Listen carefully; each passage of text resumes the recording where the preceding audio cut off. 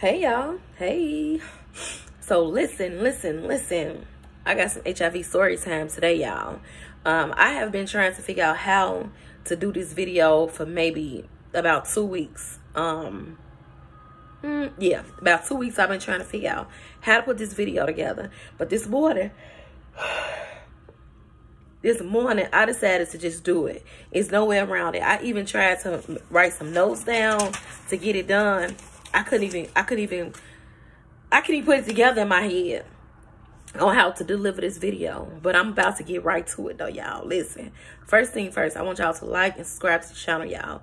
It is about HIV, things related to HIV is about encouragement and it is the life of a woman, me of course, um, living, living with HIV, not allowing HIV to live in me, right? Big difference. So I share different situations, y'all. But listen,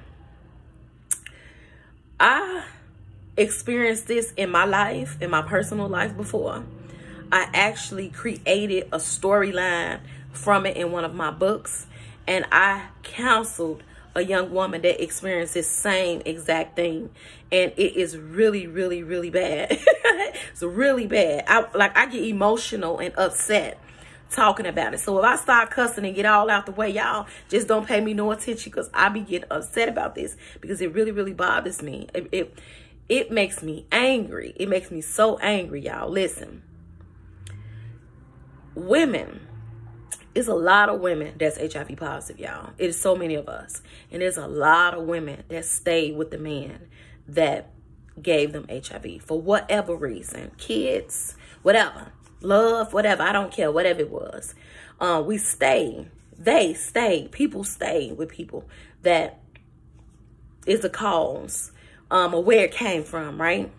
But for a woman to stay with the person that gave her HIV and then to watch him attempt to cheat on her and not only attempt to be successful at cheating is a whole nother pain it, it's so many levels. Ugh.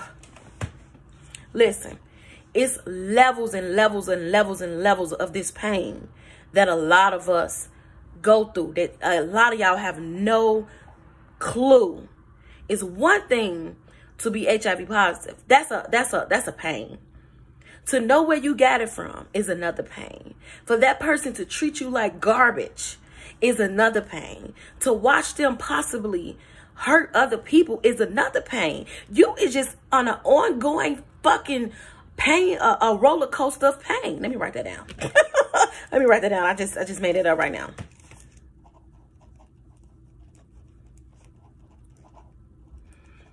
Ongoing roller coaster pain. Some of us, uh, some of us cheat back to maintain the mental um some of us cheat back to maintain our mental state from what we what we're doing in our pain. Some of us get sad depressed suicidal. Some of us kill ourselves. It's and some of us just sit and take it like a champ and just let niggas do them. And we do nothing. And we sit and just get cute. Cover up our pain with lashes makeup jewelry clothes cars all of this and whole time you're dying inside. You're dying every day. But anyway, I went all off, off, off, off. But listen, one of my people that I'm, and it's so weird. This lady told me her whole story, and I put it in a book. She hadn't even read the book yet. Listen, her husband gave her HIV. They're not together anymore for whatever reason. She goes to the grocery store and a woman walked up to her and introduced herself and said, as you, da da da da da, wife? And she said, yes. They went outside of the store and had a conversation for over two hours about her husband that gave her HIV, that she stayed with, that she loved, that's the father of all her children. I think they got like five kids. She listened to this lady tell her everything about her husband. When I was listening to that, you know, I have to be a professional, right? I was on the phone like, I was so upset. This is why I was getting upset. And I, I probably will, I, I have to, God have to work on me with this. Women is so fucking mean, nasty, and trifling. We are. Me too. I done had my, my share of fun too, doing goofy stuff. Women are evil. There's a lot of us that are evil, and we don't even know how evil we are. How can you go tell that wife about your problems with her husband? How dare you? That's funny, right? How do a mistress or a side chick walk up to a wife and tell her all her problems she got with her man, with her husband? Let's think about the logic of that. You need to be smacked. I said, do that lady know that he's HIV positive? She said no. What? You sitting here crying about he he got another girlfriend. You mad? I'm I'm his wife, and you telling me he's cheating on you. Why you think he ain't in the house with me? Did you stop thinking about that? But the, women gets on my last nerve. Be trying to have a relationship with men that have wives. I don't understand it. How can you have a successful relationship with somebody else's husband? You have to listen. You have to figure out why that man ain't at home with his wife and his kids. You have to figure out what this man is struggling with. You have to figure out what that wife is going through. Why they not together? And then you have to figure out can you can you handle that? But instead, y'all be thinking y'all take these men out of the home. Y'all take these cheating men out of the home with his wife and his kids and you make a man out of him. Baby, how? If God couldn't make a man out of him in the house with the wife and kids under the covenant of God, how do you think you can make a make a man out of somebody else's husband? Mm. No, he gonna cheat on you too. He's gonna treat you bad too. Your kid's gonna see you cry, everything. You're gonna and you're gonna go through the same thing the wife did. That's what make us the same. Y'all, y'all women seem to think that y'all are better than wives. You're not, baby. You're not better than a wife. Y'all gonna, y'all gonna pain the same. He's gonna cause you guys the same pain. I'm no better than you and you no better than me. This is the thing women need to get. The Bible says a woman will desire her husband. Uh, I, I had to really research that word, desire it's like a thirst, a want. It's like I need it. I can't die. I can't. I would die if I can't have it. Think about so many women sleeping with other people men's, other people. Why? sleeping with other people boyfriends, sleeping with other people fiancés, sleeping with other people um husbands, sleeping with they friends, men and husbands. Women are trifling. Yes. I can say it because I used to be one. I used to be a trifling gutter tramp.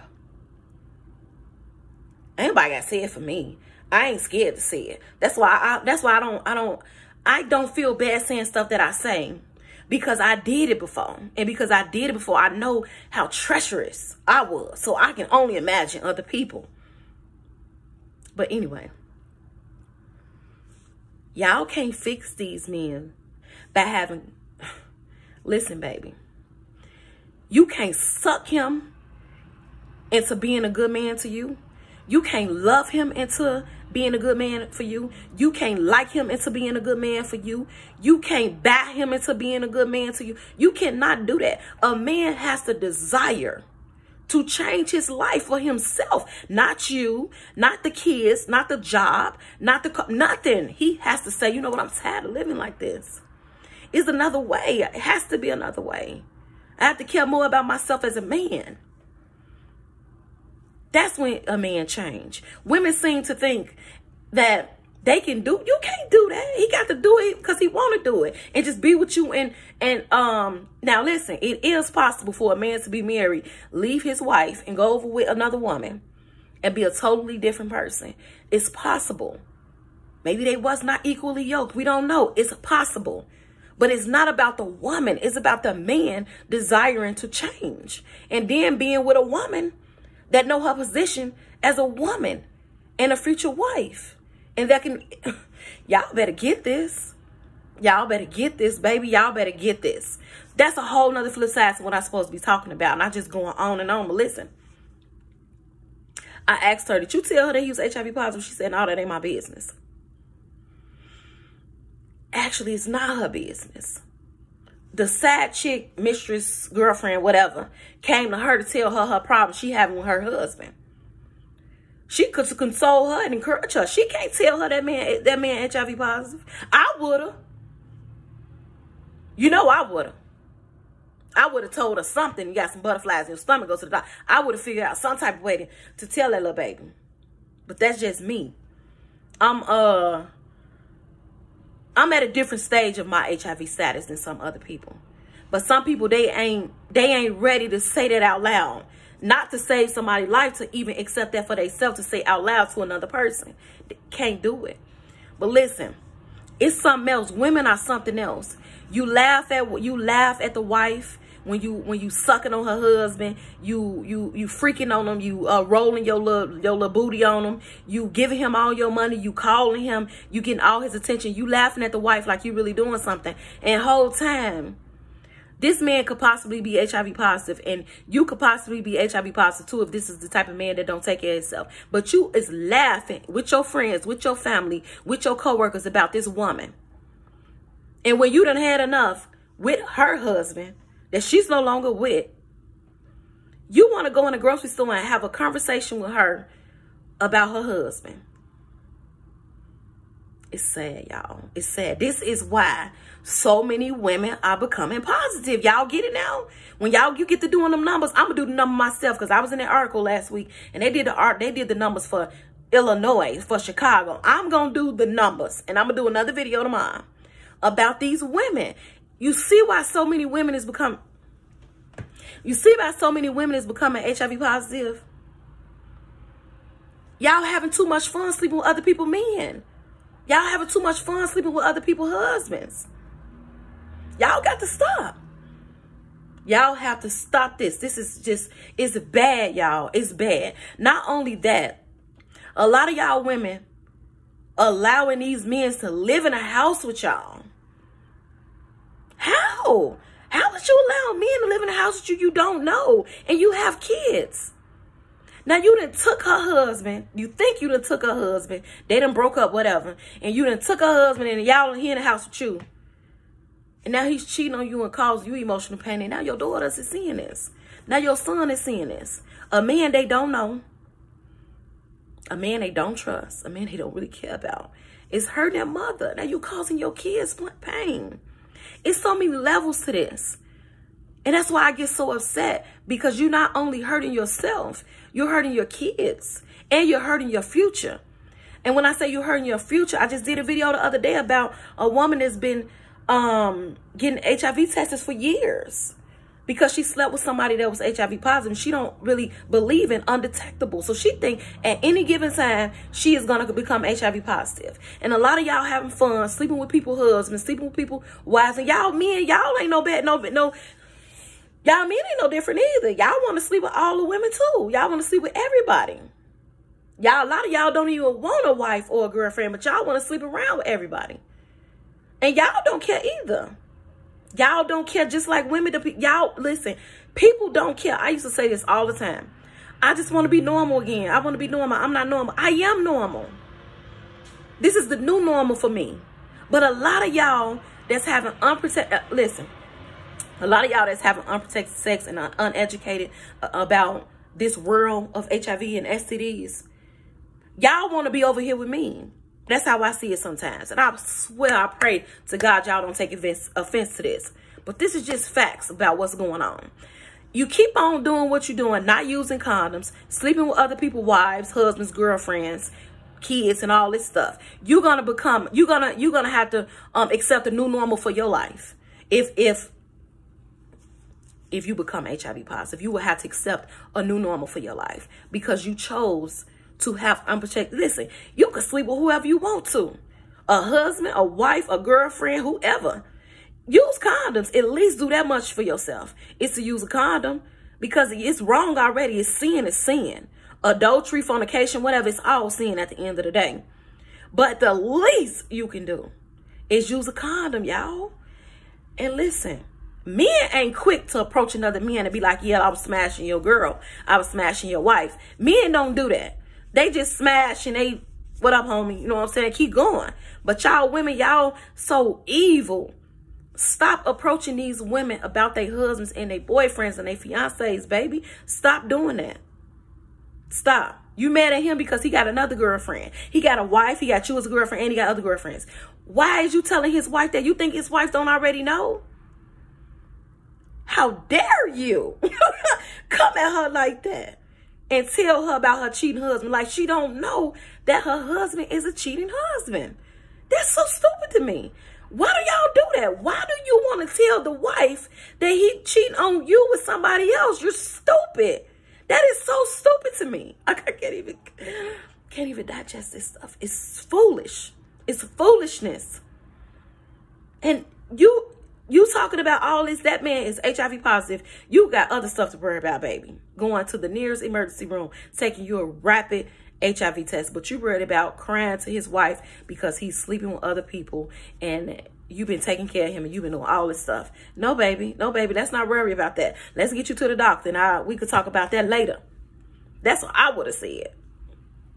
I probably, girl, I would have put out my other phone and started talking to one of my friends. Girl, where you at? I got to bring this girl up over there so she can get one of the rapid tests. You got tests in the office today? I straight would have took her to the doctor. Don't come at me. See, that's what I'm saying. That's why, see, I'm so open. That's probably why I ain't got no husband right now. That's probably why I ain't got no boyfriend. I'm just doing this dating thing.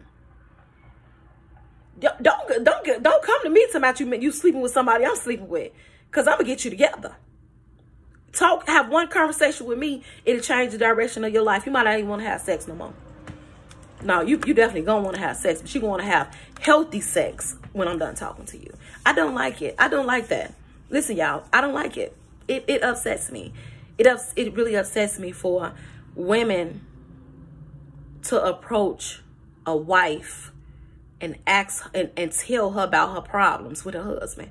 How can you do that? How can you tell a wife that you having problems with her husband? You're disrespecting God. You ain't got no, you don't have no, you disrespecting yourself. You disrespecting God. You disrespecting your life. You disrespecting that wife. And you need to repent and ask God to forgive you. Because nine times out of ten, the wife don't forgave you already. This, this stuff is really sad to me. And a lot of y'all don't have to go through that. A lot of y'all don't have to be HIV positive, really, honestly. A lot of y'all can skip HIV. I'm like, I'm sure of it. A lot of you guys can skip, skip HIV. All you got to do is get educated, use condoms, and the person that you choose to have sex with, have open, serious conversations with them. It can be a lifesaver. But instead, y'all want to sneak around and do other stuff. I just don't understand it. Give me a chance in y'all body. I'm telling y'all, I will cherish it. I would cherish it. I used to be jealous of y'all. Like, really, I'm so serious. I used to be jealous of people that wasn't positive. Like, oh my God, they're not positive. They're not positive. I was just wish I wasn't positive. And to accept it that, you know what, I am positive because I chose to do the same thing that they do. So I don't want to be normal. I don't want to be that normal no more. Because if I had an opportunity to do life all over again and be normal like everybody else that's not positive, I would be switching over to the new normal anyway. Because I would I would have did the same thing that everybody else do. And that's why I'm so strongly on what I do and what I say. And I'd be so serious. Because if I was not sitting here right now, a 40-year-old woman living with HIV, I probably would have got it anyway down the line. Because I wouldn't have been using condoms. I was not educated about it. It's just that simple. This thing is not uh, not um this thing is not really that hard. You just don't use condoms and you may possibly get HIV. You sleep with people that you think you trust and you don't use condoms. A lot of us get HIV by people that we love and trust. This is really simple. And I hope I'm breaking it down simple as I can because it's not hard at all. Y'all don't have to go through this. Listen, y'all don't. Y'all don't have to be like me. I talk so much about positivity and uplifting stuff. I rarely even ever show y'all the angry side of me. I get angry. I'm literally writing this poetry book. I'm, I don't, I'm not a poet by far. I'm so angry and I don't even want to do the book no more. But I've already said I was going to do it. So I have to do it because if I said I'm going to do it, I got to be a woman of my word. It's hurting me to even put the poems together because I'm not talking positive right now in, in, in this. My emotion, I am still angry I have HIV, y'all. I didn't realize it until I started writing this freaking book. And I'm upset. I don't want to do it no more. But so many people see me as being positive. So many people see me as being uplifting and all of that. And that's fine because that's who I am. But it was a time where I was not like this. I was upset. I was angry. I was bitter. I was mad. I was hateful. I wanted to die. Praise be to God, I'm not that way no more. But for some reason, those emotions is coming out in, this, in, in the poems. And I think I need to do it because there's a lot of y'all that need to see that. I was not always this way. I was sad and messed up. And I think that's what that I think that's what this is a part of my healing. I have to show the angry side of HIV because it's not. Listen, y'all. A lot of y'all, I know y'all know. It's not always praise God. it's not always I'm gonna wake up today and I'm gonna kill the world and live. no, it ain't always been that way. It's been hard days. I feel like, why I got HIV? Why I have to have it? I don't want this. I don't want to take no fucking medicine. I just hate this shit. It's times when I felt like that. And that's what I'm um expressing in this in these poems. They not rhyming or nothing. It's just anger, just oh my god. I shouldn't even told y'all that. I'm supposed to be telling y'all something else. But I guess this, I'm telling y'all this is because I'm angry at women. I'm angry at women that laugh at other women for accepting cheating men or being with a cheating man. And you laugh, y'all laugh at us. And we're funny. But whole time it's a, it could be a whole nother situation going on that you know nothing about. And that thing right there can kill you. That thing right there can be the, the, the change um, that you never want. A lot of people won't change, and there's a lot of people that don't want that type of change for their life. And if you keep on doing the things that you're doing, you're going to get that type of change and you're not going to be able to accept it easily. HIV is not accepted easily. It takes years, sometimes decades to say, you know what, I have HIV and I'm not going to let it, I'm not going to let it bother me no more. I'm going to live in my truth. It takes time for that. It requires a lot of change and a lot of y'all ain't ready for that. So listen, please, please, if y'all don't listen to nothing else, the end of this video, but listen to this. Let's get educated, y'all, about HIV and AIDS. Let's care more about our life. Let's care more about our bodies. Let's care more about ourselves and get educated about HIV, y'all. And let's stop having sex with other people's partners. Let's stop having unprotected sex. Let's stop not having sex conversations with the person that we are intimate with. Let's normalize having open conversations about sex, STDs, and all these different type of things with the partners that we have. We have to normal normalize this. I think that's what it's called. We have to normalize this, y'all. I'm serious. I'm laughing, but I'm so freaking serious. We have to do better, especially us women, y'all. Us as women, we have to learn how to stick together. Stick together and hold each other hand and help each other. I'm so glad I'm not as angry as I used to be because I wasn't, uh, I used to try to help people, but not, I used to, I was helping them, but scared. You can't help nobody while you're scared, you know, but now, um, I'm so proud of myself because I'm not afraid to help anybody at all. We have to come together as women. It is so important, y'all. It's so important. And I'm going to check those numbers and I'm going to come back tomorrow with the numbers for women living with HIV in the United States. I'm coming back with that tomorrow. Y'all listen, do not forget to love on y'all self. It is the best thing you can do for your life. For your life, not nobody else's life. Is to become the best version of you every day of your life. Today you could be one version and tomorrow you can recreate that version. That's why I love waking up. I love every day. Every day is another day to recreate yourself. Do y'all know we capable of that? We are capable of creating another uh, another side to us every day. Powerful. That's powerful. And it all starts with change and changing yourself within. Y'all, y'all enjoy y'all Tuesday.